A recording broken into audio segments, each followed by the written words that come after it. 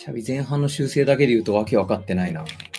これ後半治るといいね。このメンツでこのサッカーワンシーズンはマジできついからな。メッシいなくなってから最高のメンツじゃんだって。中盤の3人すごいって言って、チャビの哲学はそうなんですよ。サイドバック低い位置で張る、それによって、赤バルサで説明しますけど。まあ、ツートップの守備の仕方はこう行くときとこうのときあるけど、まあ、いずれにしろこの4141みたいな形じゃん。この時に、これ張ってるからこうみたいな。で、これがツートップこうこういう形になるとセンターバック運べるでしょ。で、運ぶことによって、これが運びきれるんだったらそのままライン間でインサイドハーグが待つし、運べないんだったらこう相手が来るから、この時に降りてって、そうするとこれ瞬間的に引き剥がすから、ワンタッチで落としてみたいなとか、あと、これが降りてく、あ、ここは運べる、降りてからい、こいつを潰そうとする、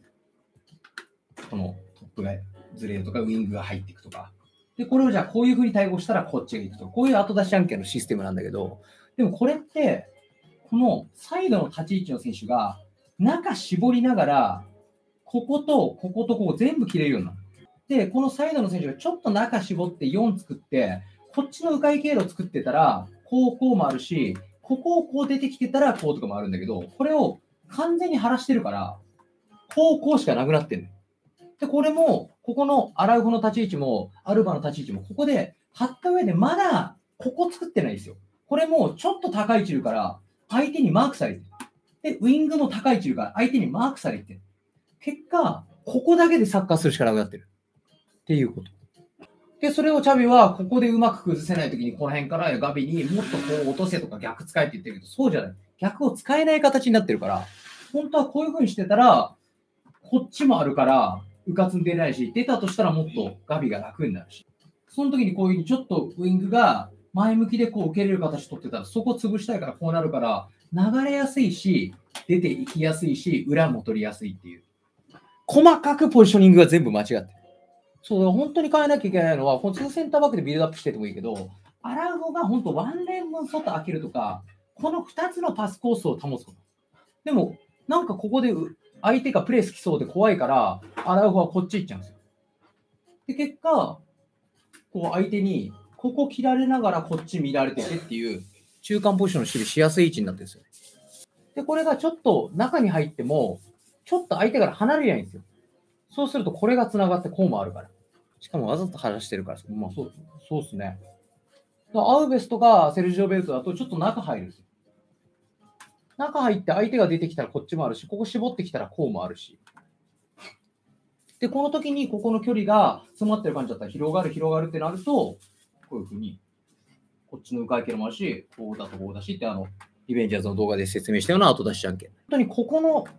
この選手たちの技術高いからいけますよね、サッカーなんだけど、まあ、ちょっと、ちゃんとラージョがその守備に対して、まあ、対応してるっていうか、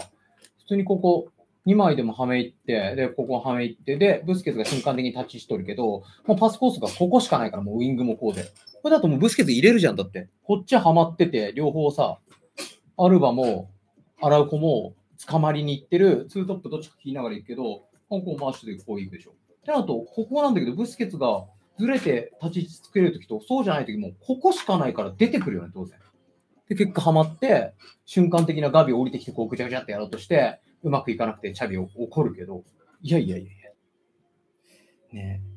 ベルナード・シューバーに使うお金、監督に使った方がいいってなりそうですね。別にあれですよ、開幕戦引き分けだから言ってるわけじゃないですからね、質ですからね。アルテタもテンハグも別に負けてるけど、だってね、いいとこというか、待ってた方がいい言ってるじゃないですか。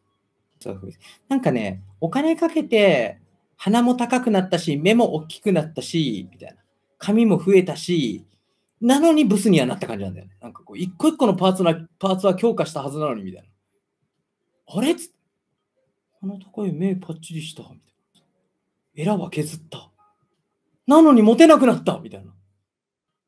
これはもう、医者の腕が悪いぞっていう。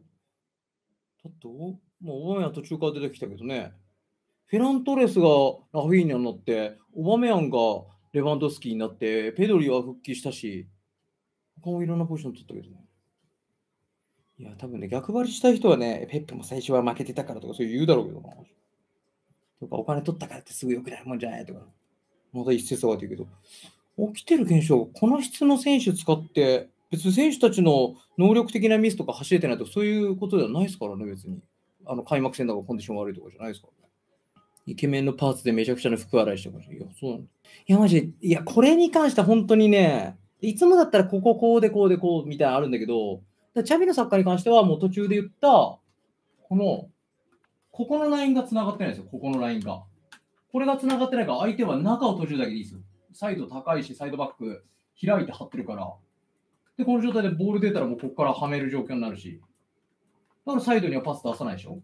で、中央もブスケツのパスコース切られたら、縦しかないから、こういう選手降りていった時ついてって潰されてみたいな。っていう構造でずっとサッカーやってて、あとはもうレバンドスキーとかブスケとこの辺の技術頼みみたいな。あと、なんかこう、この辺の技術良くて相手がちょっと寄った時にサイド使えるかみたいな。本当に質の差があってなんとかチャンスっぽくなるみたいな感じなんですよ。で、これを後半直すかと思ったらずっと腹せっぱで、もともと中入ってこういうさ、こういうパスできてたセルジオベルトも出てからこうだったから。で、張る張らないで中絞る系のデストは、あの、ベンチがいい、ダニアウベスは放出されたでしょう。で、セビージャでサイドバックやらせてる時とか、あのフランス代表でも結構張ってる組んでとか取ってきて、アラフもこうだから、中入るっていうのがそもそもチャビの中でないっていう。でも今日最後にできたチャンスも、3バック化させて、ウィングにデンベルを置いて、右サイドバックセルジオベルトになって、これによってこういうパスが出たじゃないですか。そこで、このちゃんとスペースある状態で、前向きの状態でデンベレに仕掛けさせれるから、結果大外開くみたいになったでしょ。やっぱりチャンスになってる構造も言ってるやつなんでもそれがなんないような形に自分からチャビはそっちの方向、そっちの方向に行って、結果ずっとチャンス作れない。選手の質でなんとかするしかないけど、その質が出ないときにはこうなるっていう。やばいっすよね。これこれが、ね、テンハグとかだったらまたここのウイングの立ち位置分かってないねとか、こう、こう後ろの立ち位置は改善されたけど、みたいな。で、部屋がそこの、このサッカー慣れてないからつけちゃいけないとつけたねとかなんだけど、一人一人の後ろの技術は高いけど繋がんない形ずっと続けてるから、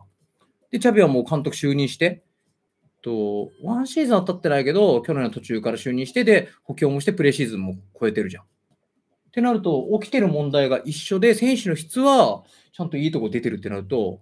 これはもう現代サッカーのうまくいく構造と逆に、逆のものを頑固に頑張ってやってるってだけなんですよ。で、何よりこんだけ選手補強して、プレミアだけじゃなくてラリーガも楽しみたいっていう。で、マドリーにエンバペは来なくてちょっと寂しいみたいな。じゃあバルサが盛り上げてくれって思ったところでこれだから、まあ、へこむっていう。アレグリ信じてたのにとか、っていうのとは、まあまあ、チャビに関してはもうちょこちょこ怪しいところはずっと喋ってますけど、